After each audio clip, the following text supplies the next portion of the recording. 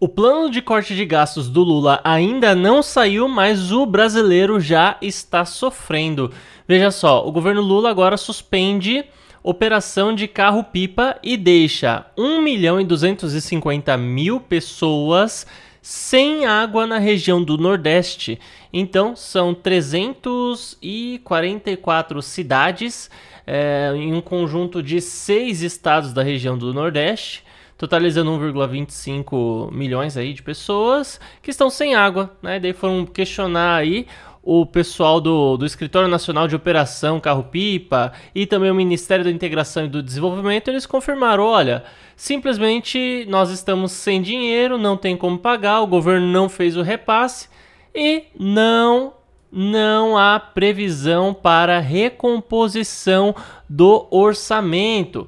Só que o mais assustador dessa história não é isso. O mais assustador é que, na verdade, a gente ainda não viu nem o plano de ação de corte de gastos do Lula.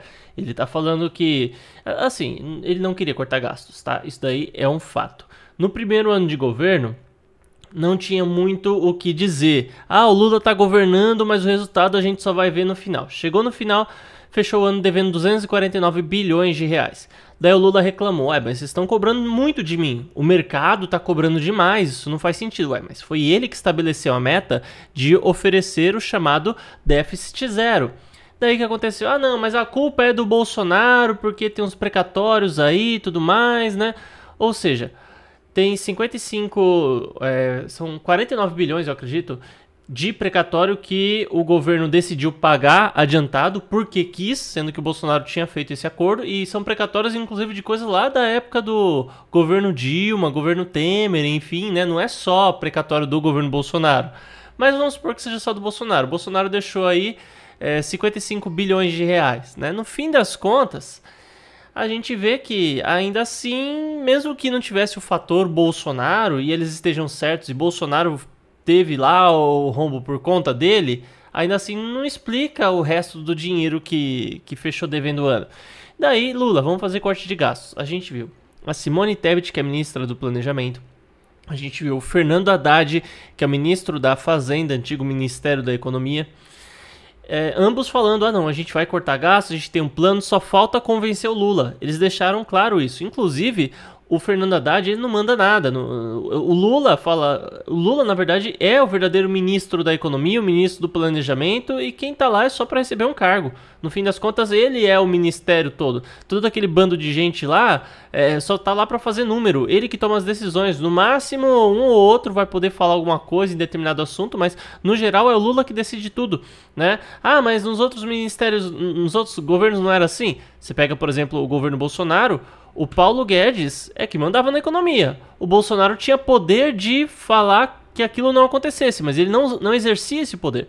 Já o que a gente vê no governo Lula é ele exercendo bastante esse poder. Tanto é que eles estão há muito tempo tentando convencer o Lula. O mercado também está pressionando, vamos cortar gasto. Daí ele já falou umas duas, três vezes que não ia cortar coisa nenhuma. Depois meio que disse que sim, que não, ficou voltando atrás. E por fim, Sim, vamos fazer aí um plano de corte de gastos, mas vamos só esperar a, a, as eleições. Daí passaram as eleições, não veio plano de corte de gastos. Ah, vamos só esperar passar re, a reunião do G20, não veio corte de gastos. E tava para sair o resultado a, ainda hoje disso tudo. Não sei se vai sair. Pode ser que saia. Mas eu duvido que vai ser alguma coisa que vai resolver a situação. O próprio Banco Central falou que já, tá, já é tarde demais para fazer isso e não importa o que aconteça, mesmo que seja o melhor plano do mundo, ainda assim esse ano já era, né? Então talvez dê para salvar lá para depois do meio do ano que vem, para melhorar um pouquinho a situação. É, então isso tudo é, você tá vendo essa tragédia toda acontecendo, pessoal do, do Nordeste sem água, por conta que o governo tá sem dinheiro. Isso é a que ainda não fez corte de gasto. Depois que fizer, que a gente ainda vai ver um monte de coisa aparecendo, né? Então comente sua opinião, aproveita e me siga aí, se inscreva no canal.